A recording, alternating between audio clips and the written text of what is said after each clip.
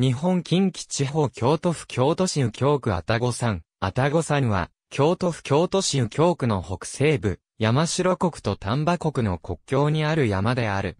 京都市街を取り巻く山の中で、比叡山と並びよく目立っており、新婚の山としても知られる。山頂は、京都市に所在するが、約 1.5km 西に、市境があり、山体は、亀岡市にまたがる。標高924メートル。山東三角点、愛宕は、山頂の北方約400メートルの地点に所在する。京都盆地の西北にそびえ、京都盆地東北の比叡山と並び古くより、信仰大将の山とされた。新五寺などの寺社が、愛宕山系の高尾山にある。山頂には、愛宕神社があり、古来より、火伏せの神様として、京都の住民の信仰を集め、全国各地にも広がっている。亀岡市川の登山口にも、元愛宕と呼ばれる、愛宕神社がある。本能寺の変の直前に、明智光秀が、愛宕神社を参詣し、愛宕百院を読んだことでも知られる。亀岡市から、愛宕山への登山道は光秀が通ったことから、明智越えと呼ばれている。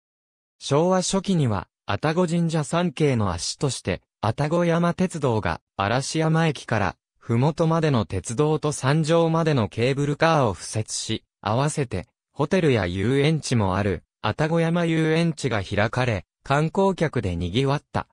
しかし、世界恐慌や戦争の影響で客足が落ち、第二次世界大戦末期には、ケーブルカーが不要不急線として廃線になり、遊園地やホテルも閉鎖された。これらは戦後再開されることがなかった。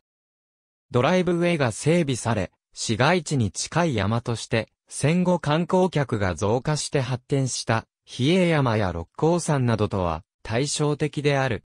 天気が良ければ、大阪市内の高層ビル上などからも、山階を確認することができる。主な登山道は、清滝からの表参道、清滝から月林寺経由の道、水尾集落からの道がある。その他に、高尾から首なし地蔵を経由する道、式美原集落からの道などがある。都市近郊の山であるが、天候により真夏以外は、朝夕寒かったり山上が雲の中に入って濃霧に覆われる時もあるので防寒具や雨具が必要な時もある。また、千日参りの日を除いて山道には夜間の照明は、ほとんどない。往復で4から5時間かかるため、午後から山に登ると下山するまでに日没になってしまい、街灯がほとんどないため懐中電灯を装備していないと遭難状態となることがあるなど、注意が必要である。地元の右京警察署によると、年間20件前後の救助事案が発生しており、注意を呼びかけている。ありがとうございます。